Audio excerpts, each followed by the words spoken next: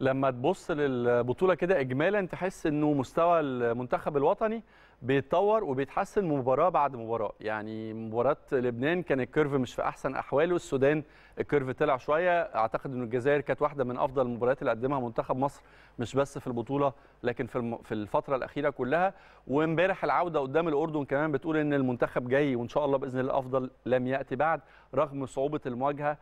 دور قبل نهائي آه، تونس ديربي آه، من دربيات شمال أفريقيا. خلينا نتكلم أكتر عن مشوار المنتخب ومرحلة مستر كارلوس كيروش مع واحد من نجوم النادي الأهلي كابتن عبد الله جلال. طبعا ضيفنا في السادسة. مساء الخير يا كابتن. مساء النور. نور الدنيا. نورك. مبروك تأهل منتخب مصر اللي قبل النهائي. أكيد مبروك للشعب المصري كله. أكيد مبروك يعني. مبروك لحضرتك برضو.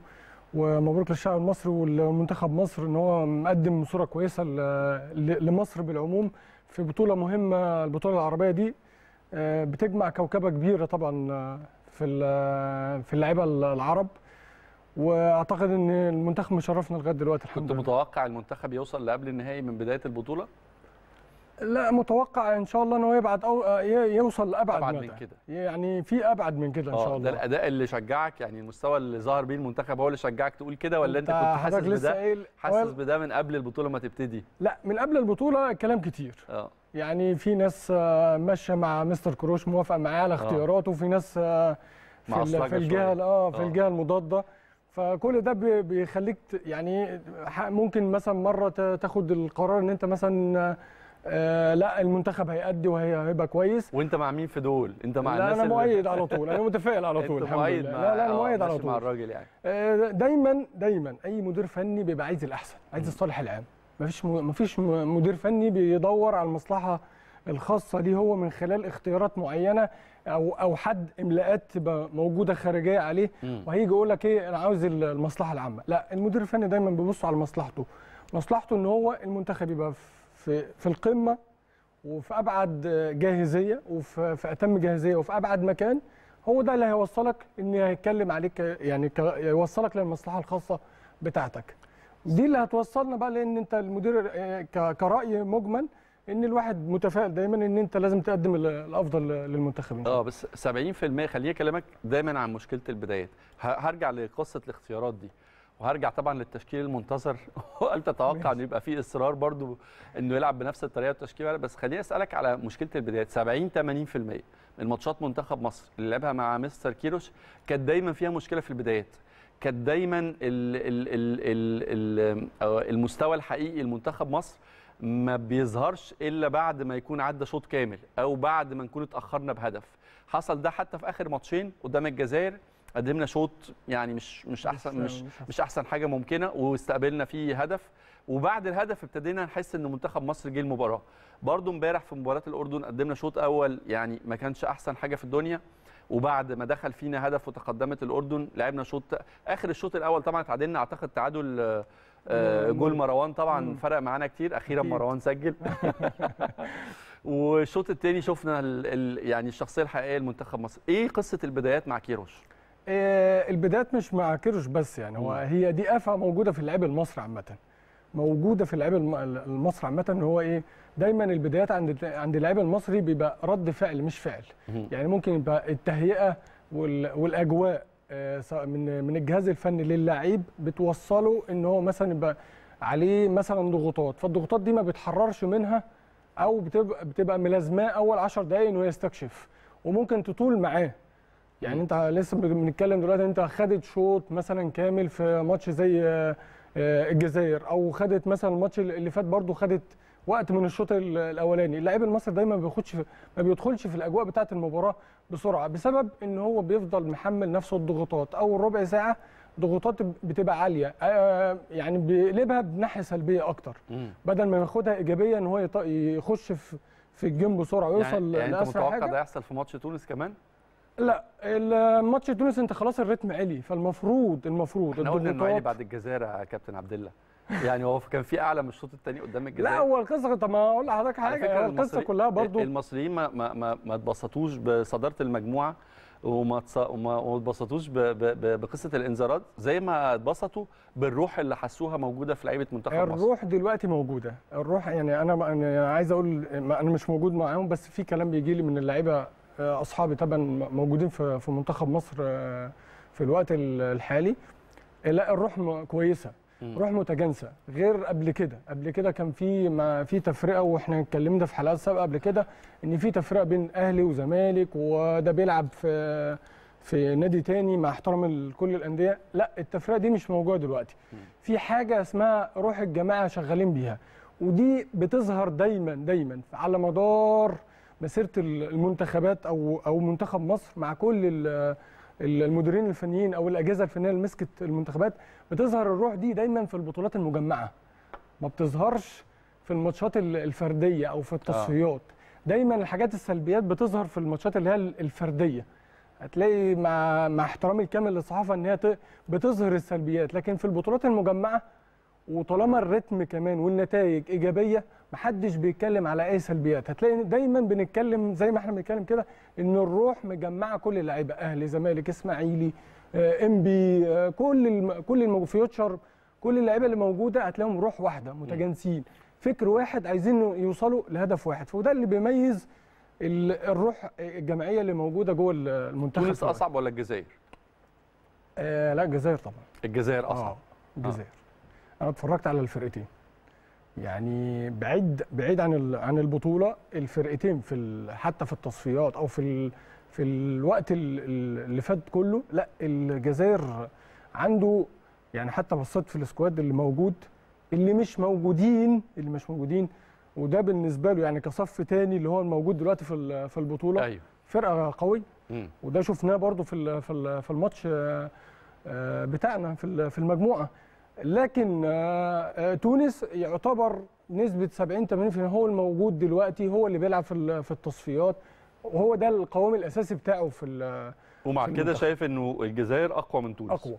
لأن حتى ال squad اللي مش موجود أقوى من اللي موجود دلوقتي حاليا. متوقع مفاجأة من مستر كيروش في في مواجهة تونس ولا متوقع يلعب بنفس الطريقة ونفس الأسماء نفس التشكيل؟ أعتقد في ممكن ممكن مفاجأة لأن أنت برضو بتتكلم في إن يعني هرجع لحتة بسيطة بس صغيرة إن اللي بيعاني دلوقتي مع مستر كروش أو بيخلي مستر كروش إلى حد ما يعاني برضو في حتة ال- التشكيل والطريقة إن لعيبة الأهلي بتدفع ضريبة انها ضغط المباريات بتاعة ال- الدوري. وده اللي بيظهر إن الماتشات اللي فاتت لعيبة الأهلي هي اللي يعتبر هي اللي بتصاب مفيش حد تاني آه، من ال من ال من المنتخب هو اللي بيحصل له أي حاجة حجازي بس عشان ما حدش يقول لك ما فيش يعني معلش. برضه.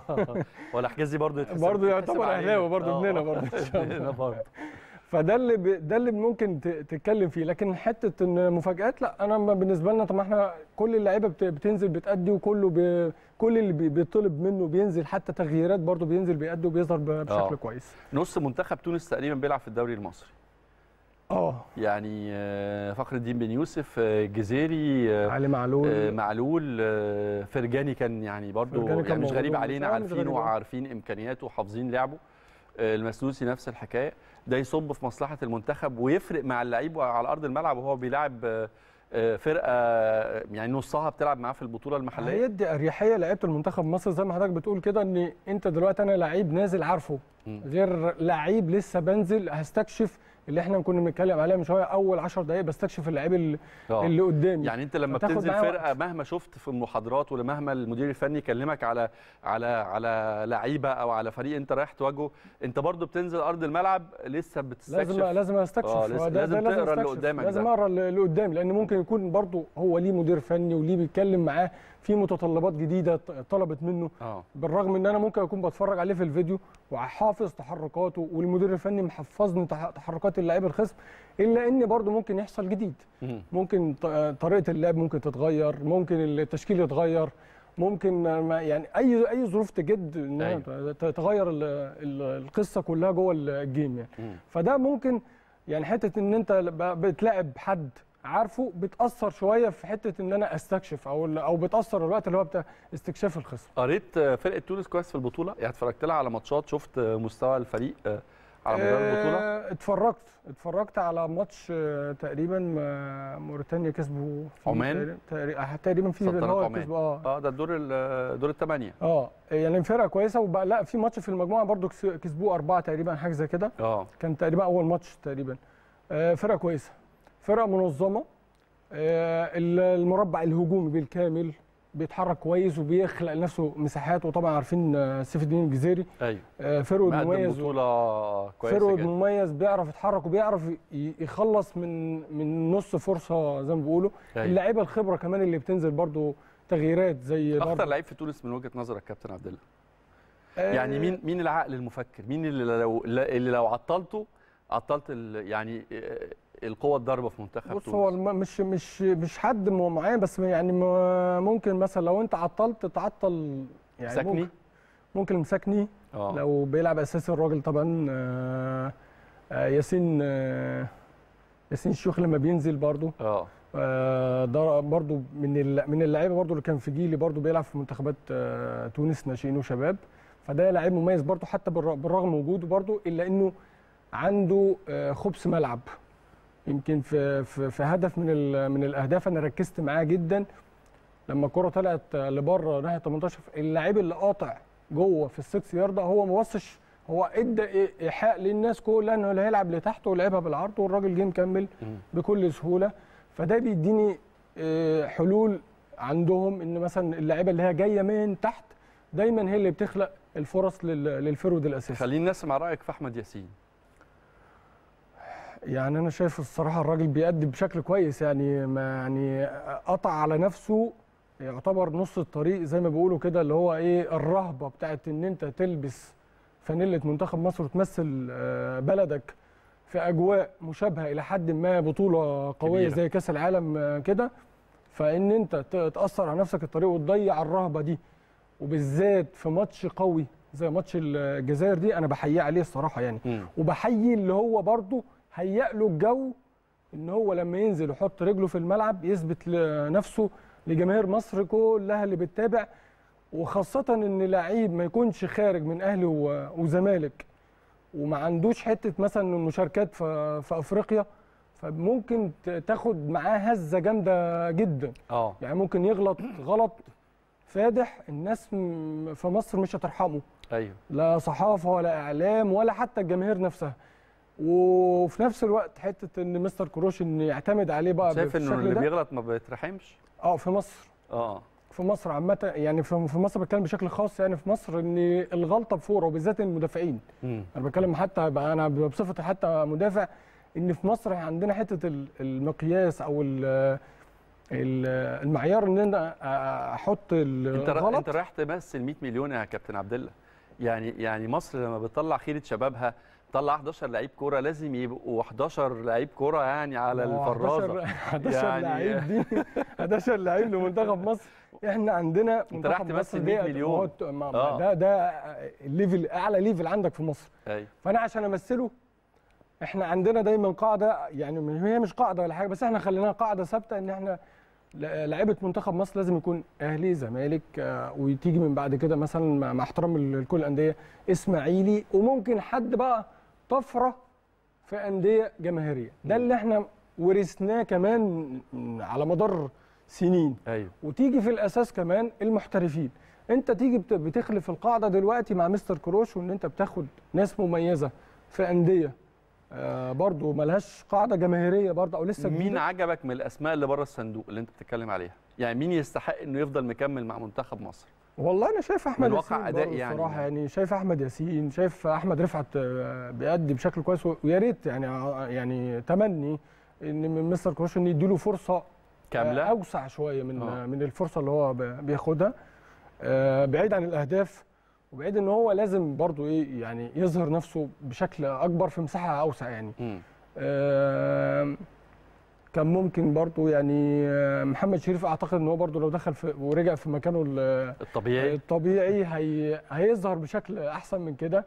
هو برضو حتة يعني كان في كابتن أحمد شهور من فترة كان بيعلق على ماتش من ماتشات ال- الأهلي. قال حاجة كويسة قوي ويمكن دي باينة وأنا بشوفها برضو بشكل آه كويس واضحة على محمد شريف إن هو حاطط نفسه تحت ضغوط الاختبار. وكابتن أحمد شوبير قال حاجة كويسة أنت لعيب كبير فلازم تتعامل على إن أنت لعيب كبير في منتخب مصر. منتخب مصر مش هيضم غير اللعيب الكبير.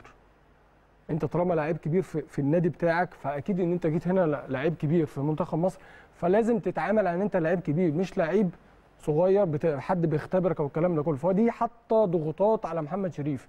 بجانب كمان إن هو بتغيير المركز من forward لجناح دي عامله له برضو حتة ان هو برضو شاغل نفسه بحاجات أيوة. بتطلعه بره الصندوق إن هو ما.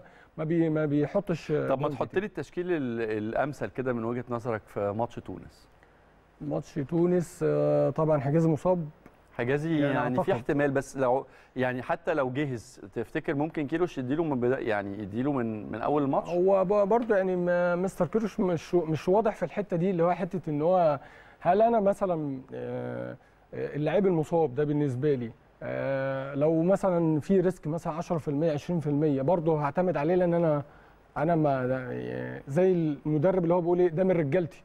اللي هو اعتمد عليه أحسن من أنا أغامر بحد تاني. بلعيب لسه ممكن بستكشفه يعني. فلو هو جاهز 100% طبعا حجازي وال- والونش آه، back left آه، فتوح back right أكرم توفيق هيرجع طبعا من أيوه الإيقاف. خلاص. في نص الملعب. الحمد لله. يعني أعتقد إن النهارده حمدي فتحي سليم برضو الحاجة ما تستدعيش إن هو ما إن شاء الله يبقى جاهز قبل يكونش الماتش. موجود. هو وعمرو السولية في نص ال- هتبان في تمرين بكرة طبعا يعني. آه، أعتقد بس آه. هو بنسبة كبيرة إن بس شاء الله. يعني لو جاهز حمدي لو جاهز. يبقى حمدي فتحي وعمرو السولية. و... ولو بيلعب بثلاثه في نص يبقى معاهم انت تلعب بإيه في ماتش تونس؟ أنا هسيبك أنا؟ منه. آه انت هتلعب بإيه في ماتش تونس؟ هلعب ماشي. عمرو السوليه وحمدي ف- حمدي فتحي وقدامهم آه، قفشه. تمام. آه، يمين وشمال. يمين وشمال. هلعب آه، إيه رأيك في حسين فيصل في البطولة دي؟ حسين فيصل. يمين؟ حسين فيصل. تلعبه يمين. آه هلعبه يمين. آه. وشمال؟ ممكن ألعب آه، أحمد رفعت. أحمد رفعت. آه. وراس حربة. وراس حربة محمد شريف. محمد شريف. بنسبة كام في المية؟ ده ده ده, ده فكر عبد ده الله فكر جلال. أنا ده آه. فكر أنا ما ماليش دعوه ما أنا فاهم آه. طبعا أنا بسألك آه. أنا- يعني هجيبك تقول بقول مستر لك. كيروش. آه. بنسبة كام في آه، آه، التفكير ده الأسماء دي ممكن تبقى في الملعب من وجهة نظرك بتفكير مستر كيروش؟ بنسبة كام؟ يعني ممكن 70 80% لأن 70%. برضو الإصابات وبرضو هنرجع لحتة ال- مستر كيروش برضو مغير مراكز ناس زي محمد شريف كده فأعتقد إن برضو هيفضل مصر على مروان حمدي وأعتقد يعني دي, دي ممكن برضو هو دي ده اللي أنا س- مستكشفه ورأيي الخاص إن مستر كيروش بيدي الناس كلها فرصتها الكاملة مم. ملهاش علاقة بإن أنت ب- بتأدي بتجيب اجوان أو ما آه، بتجيبش. آه، بتأدي في بتلعب في إيه؟ بعد البطولة هيحصل إيه؟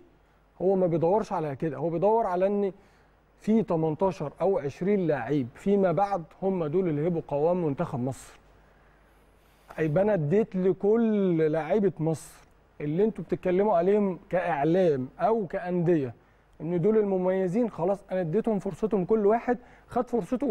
وأنا بشكره كمان هو بيداهم في بطولة قوية لو إن شاء الله نجحنا في إن إحنا نتخطى عقبة تونس تفضل تقابل مين في النهائي قطر ولا الجزائر الاثنين أصعب من بعض الصراحة الاتنين بتفرج على أصعب من بعض. آه الاثنين أصعب من بعض بس إن شاء الله منتخب مصر قدها أي حد من وجهه ويمكن منتخب مصر برضو قدم مباراة كوي- كويسة قدام الجزائر أعتقد إن الاثنين أي حد يوصل فيهم النهائي إن شاء الله منتخب مصر يقدر عليه قادر إن شاء الله. بإذن, الله. قادر. كلنا ثقة في لاعبتنا والحقيقة مش الثقة دي مش من فراغ.